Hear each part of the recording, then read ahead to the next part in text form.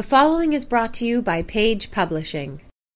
New book, Divided We Fall, is a thought provoking book that talks about America as a divided nation and the nature of its political and cultural divides. It is a well researched work tackling the deep rooted problems of America that divide its people causing the difficulty in sustaining true American democracy. The author challenges the reader to re examine concepts that have been standard thought in the current political climate of the nation. Throughout this book, he poses a number of important questions to the reader.